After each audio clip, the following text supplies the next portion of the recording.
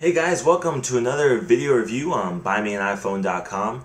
Today's video review is sponsored by Greenlight Jerky, and today uh, we're going to be checking out a new product from Proporta, and it is the Proporta Universal Dock.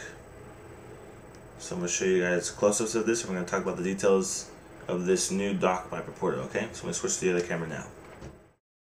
Alright, so here's the dock, the Proporta Universal Dock, and this is a universal iPod dock, as you can see here.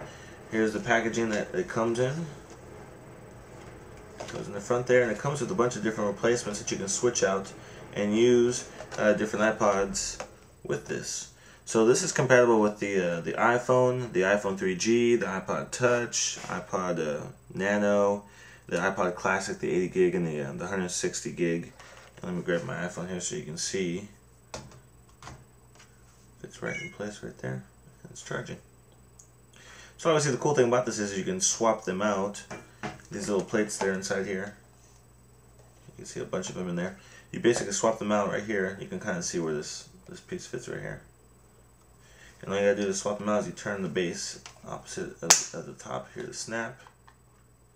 Open it up and there it is. And there's two clips right there. You can pull the piece out. Here's the actual uh, connector. It comes with this USB connector right here.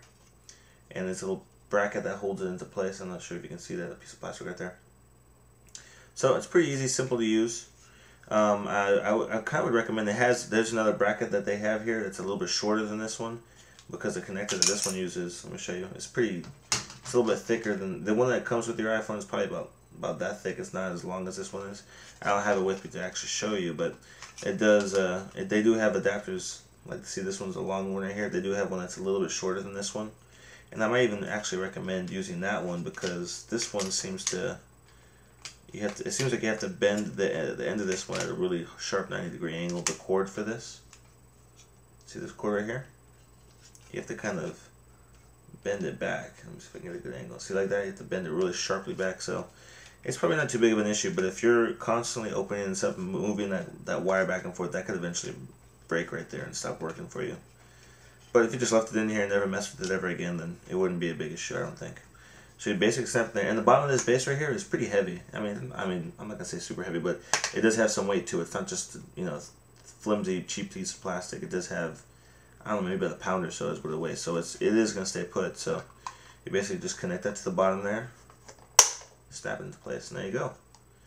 And you got a, a, little universal dock. So if you have an iPod and an iPhone, you want to be swapping it out or whatever. If you ever need to use something else on it, you can always do that. So this uh, retails for $21.95 on Proporta.com. And uh, it also comes in black, which is pretty nice as well, if you like the black one.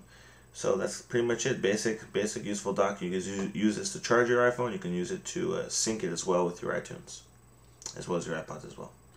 So that's pretty much it. I'll post the links uh, on my website in order to take you to the site to be able to purchase this if you'd like to do that. And that's going to be it for today. Thanks for watching another video review on buymeaniphone.com.